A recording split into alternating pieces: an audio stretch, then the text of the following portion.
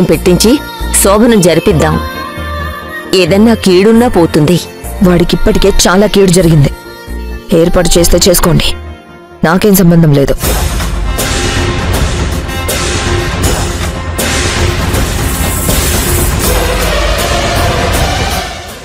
రాజ్?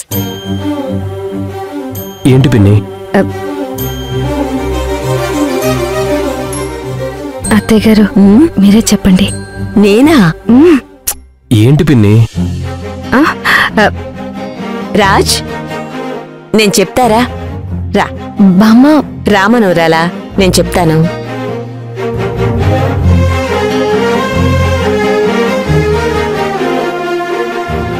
ఏంటి నానమ్మా?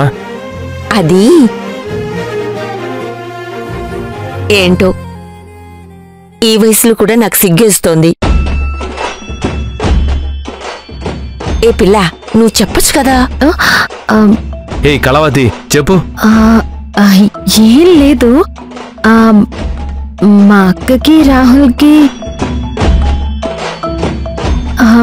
శోభన ఏర్పాట్లు చేద్దామని నిర్ణయం తీసుకున్నారు.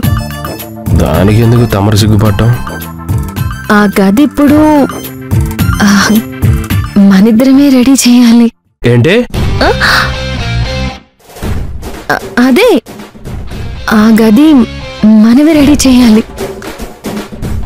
విన్నావుగా? సరేనా? ఆ, ఆ. నువ్వు చెప్పాక కాదని ఎలా అంటాను నానమ్మా? సరే. సరే అయితే ఆ ఏర్పాట్లు చూడు.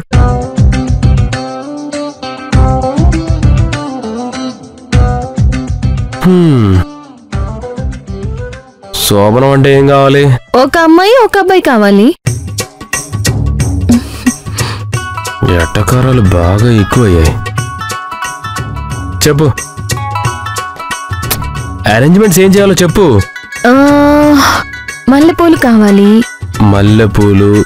ఆ, బెడ్ డెకరేట్ చేయడానికి ఆ, గులాబీలు జాస్మిన్స్ రకరకాల కలర్ఫుల్ ఫ్లవర్స్ కావాలి. ఇంకా? ఆ, పాలు కావాలి. ఆ, సున్నుండలు కావాలి. సున్నుండలా? ఆ? సున్నుండలు దేనికి? అవసరం లేదు. స్టోర్ రూమ్లో తాగేసి దూరిపోయే వాళ్ళకి అవన్నీ ఏం తెలుస్తాయి? ఏయ్! మాట్లాడితే ఆ టాపిక్కే తీసుకొస్తావేంటి? ఆహా! మరి మీరు మాట్లాడితే ముసుగేసుకుని పెళ్ళి చేసుకున్నాను అంటారు కదా? ఏడ్చోలే ఇంకేం కావాలో చెప్పు. ఇంకా పళ్ళు స్వీట్స్ అగరొత్తులు. ఇంకా? అంతే. దాని కామ ఎందుకు? అగరొత్తులు అని ఫుల్ స్టాప్ పెట్టచ్చు కదా? అలా ఊరికే బాగుంటుందని? సరే ఇవన్నీ కళ్యాణ్ గడికి సెండ్ చేస్తాను. వాడు తెచ్చి పెడతాడులే. తెచ్చాక రూమ్ డెకరేట్ చేద్దాం. ఆ, ఇవన్నీ మీరు తేవట్లేదా? నీకు చాలా ఆశలు ఉన్నట్టున్నాయి. హ్మ్. రాహుల్ మన పెళ్ళికి రిసెప్షన్ చేయరా? మీ కావ్య తన పెళ్ళిని గ్రాండ్గా చేసుకుంది. మన పెళ్ళిని సింపుల్గా చేయమంది. తన పెళ్ళి రిసెప్షన్ గ్రాండ్గా జరగాలని పట్టుబట్టింది. మనకు అసలు రిసెప్షనే వద్దంది. కావ్య నిన్ను నేను నుంచి సర్వెంట్ కన్నా హీనంగా చూడకపోతే నా పేరు స్వప్నే కాదు.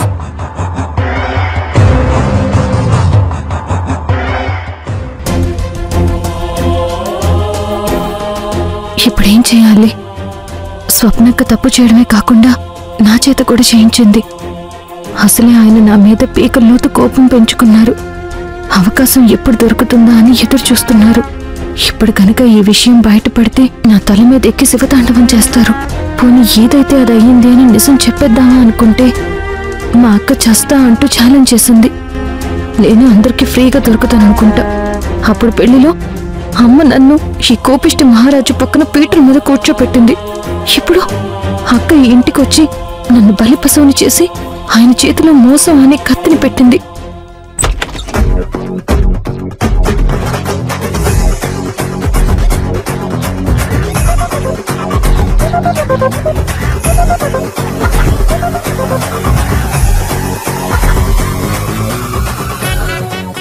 ఇదేంటి? అలా అనుకోగానే ఇలా కత్తి పట్టుకుని వచ్చేశారు?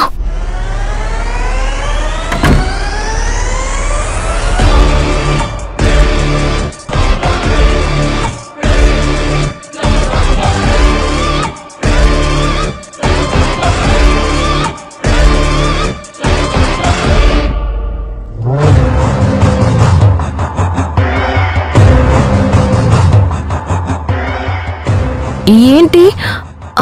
కత్తితో వస్తున్నారు. నిన్ను పొడి చేద్దామని!